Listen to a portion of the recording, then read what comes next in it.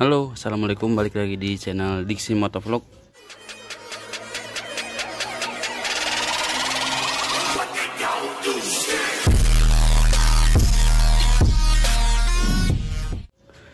Jadi di video kali ini langsung aja ke inti video dan saya bakalan jelasin secara singkat tentang cara pemasangan plendes cakram di pelek Pixen All.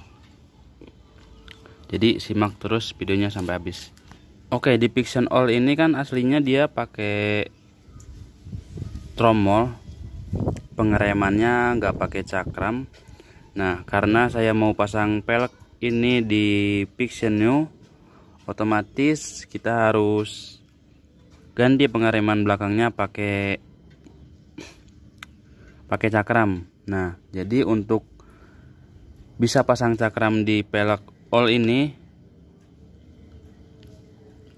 Harus membutuhkan plendes atau adapter lagi. Nah adapter ini bikin ke tukang bubut.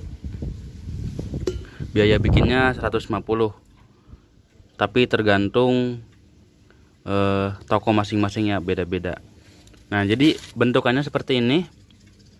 Ini ada empat baut baut L ukuran 5 ini nyambung ke peleknya. Jadi untuk e, ngikat si adapter ini ke pelek.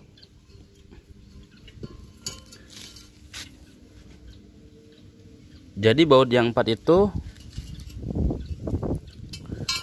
dia tembus ke sini dan di sini nggak ada baut lagi karena sistemnya ini diulir ya jadi diputar doang. Jadi di bagian nap gear karet gearnya itu nggak butuh baut untuk ngikat lagi. Jadi sistemnya diulir. Terus untuk ini ada baut 5 ini udah disesuaikan uh, sama dis ori fixennya jadi ini untuk baut untuk ke piringan cakramnya. Jadi udah emang tinggal PNP tinggal kasih piringan doang.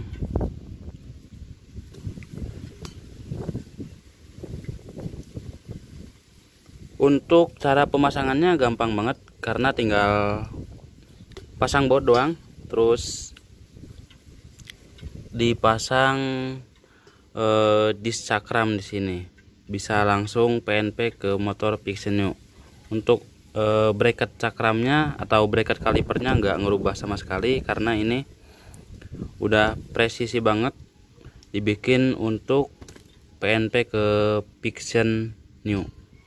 Oke mungkin cukup sekian dulu video singkat review cara pasang adapter cakram di pelek Pixen All.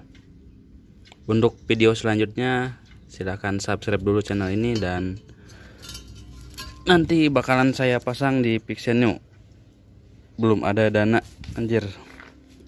Oke okay, see you next time